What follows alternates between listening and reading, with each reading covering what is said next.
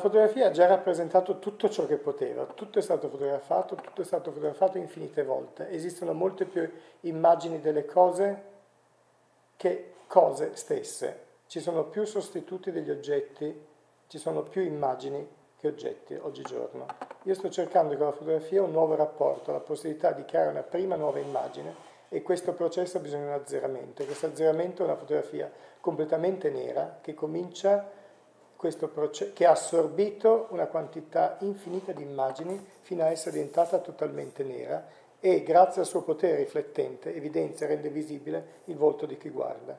In questi lavori, che ho chiamato meditations, meditazioni, l'osservatore si confronta col volto di se stesso nell'atto di guardare, si vede mentre sta guardando e si vede proprio perché è la fotografia che produce luce restituisce, restituisce luce visibile e non è più soltanto la luce che ha assorbito nel tempo, è quella che inizia ora a restituirci.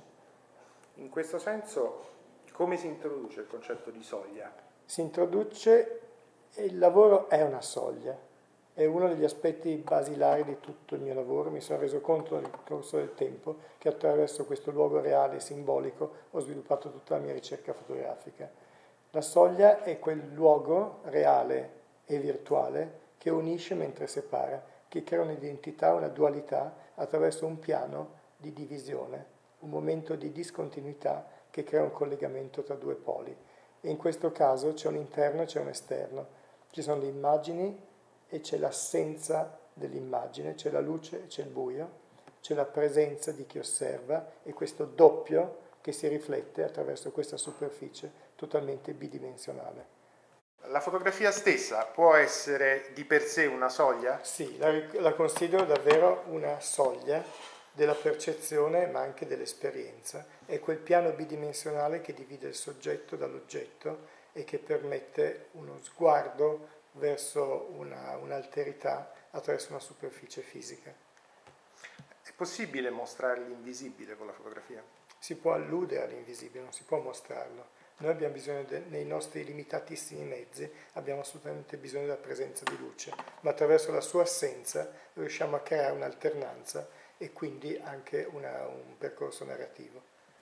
Ma immagini come quella del Mirab che alludono a qualcosa che in realtà noi non vediamo se non nella nostra mente, almeno se lo pensiamo eh, da eh, credenti musulmani, noi in questa immagine possiamo vedere la Mecca, nel senso della direzione, il nostro immaginario della Mecca fin tanto che non siamo riusciti a vederla. Sì, la vedo con lo sguardo, de, con l'occhio del mio pensiero, la immagino.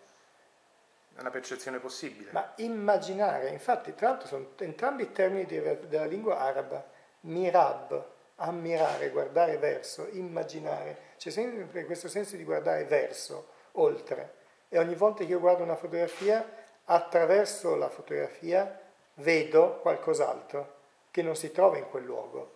Trovo, c'è questa icona che rappresenta un'alterità. È l'invisibile che si rende visibile a questo punto. In questo senso, che relazione ha l'uso degli specchi come superficie di stampa?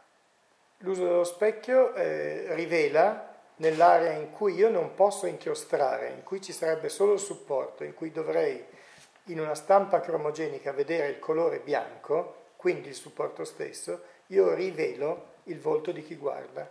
Quindi è quella soglia che mette in contatto di nuovo l'interno con l'esterno. Io sono simultaneamente di fronte all'opera e al suo interno.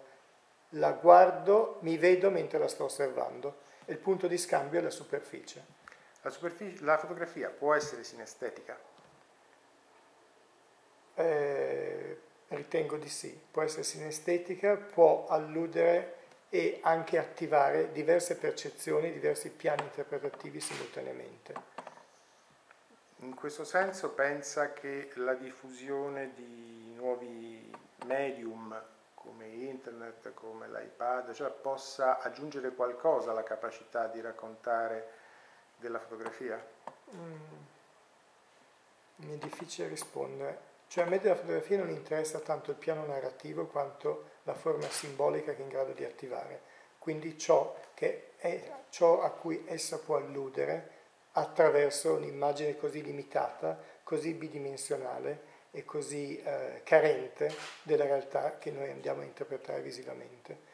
Internet è un universo linguistico eh, straordinario, fatto anche da immagini fotografiche, però non so in che misura sia in grado di, di portare novità all'interno della lettura dell'immagine stessa, se non di tipo quantitativo e comparativo.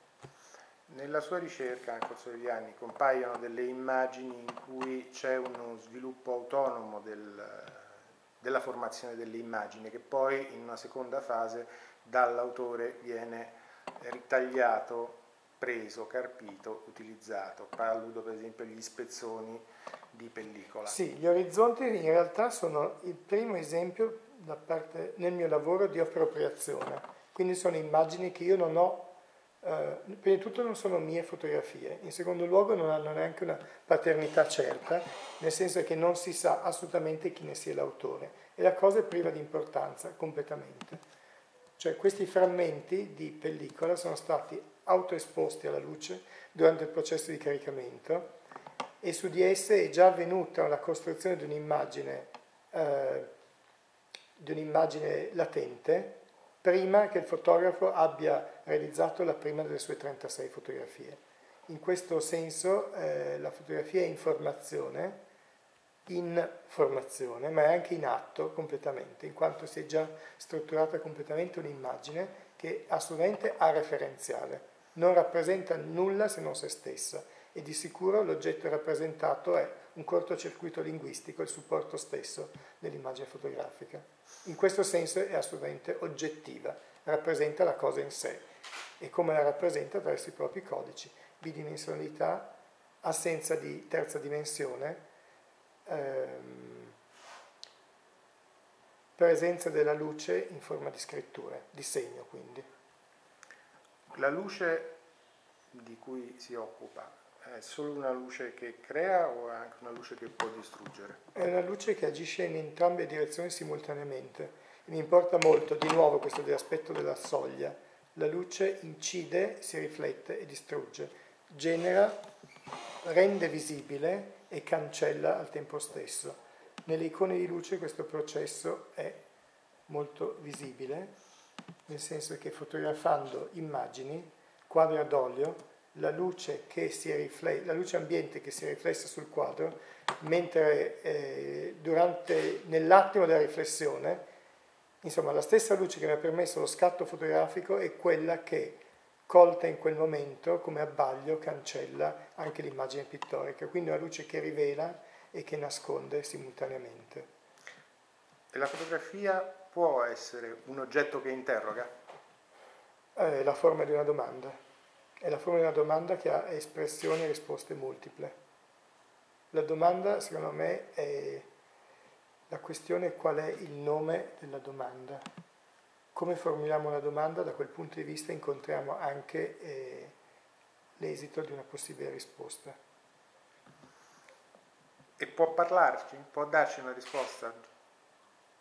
Mm, sì basta ascoltarla. Come facciamo ad ascoltarla? Ma le immagini ci parlano, sono forme visibili di interpretazione del reale. E penso che ehm, ecco, scende in campo il potere dell'immagine fotografica, la sua fissità. Noi possiamo mantenere quell'immagine fissa davanti ai nostri occhi molto a lungo e nel corso del tempo ci offre continuamente nuove risposte, nuovi interrogativi. È come se tutto fosse contenuto al suo interno e per noi un processo di rivelazione trovare e ascoltare queste risposte. Ma pos- potremmo ascoltarle anche fisicamente? Fisica- fisicamente? fisicamente? ci sto provando, sto cercando di dare ad esse voce. Eh, in questa mostra che si terrà al PAC a ottobre, per la prima volta presenterò delle opere eh, capaci di eh, offrire una, una, voce, una voce percepibile, una, un proprio suono, un'esperienza acustica non solo visiva della superficie fotografica.